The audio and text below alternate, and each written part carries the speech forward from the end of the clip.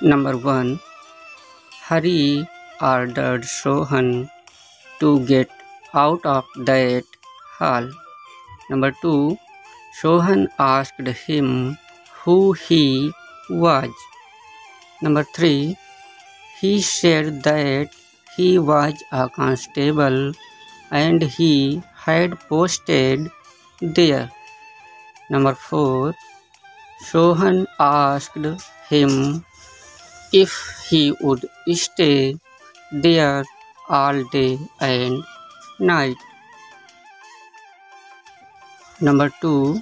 First, he told me that he would give me a book. Number 2. Second, he said that the sun rises in the east and sets in the west. Number 2. Third, Sohan asked me if I would give him my brother's pen. Number two, fourth, he ordered the student to go home and bring his book.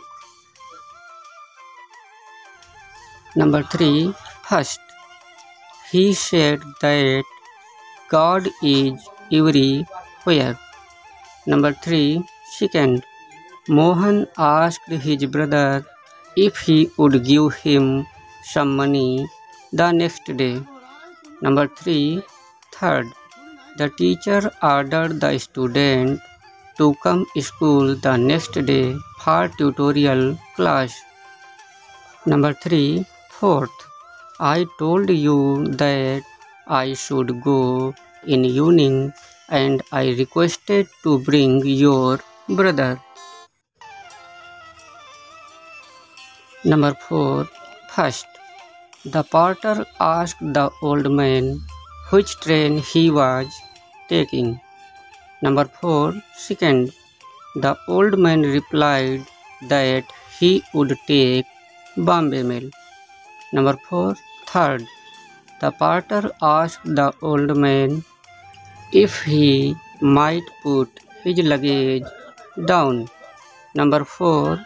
Fourth, the old man replied in positive and said to have some rest.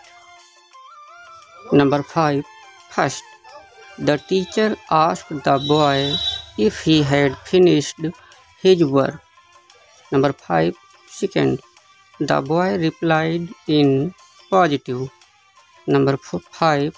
Third, the teacher asked the boy what he would do then. Number 5. Fourth, the boy replied that he would do some more questions.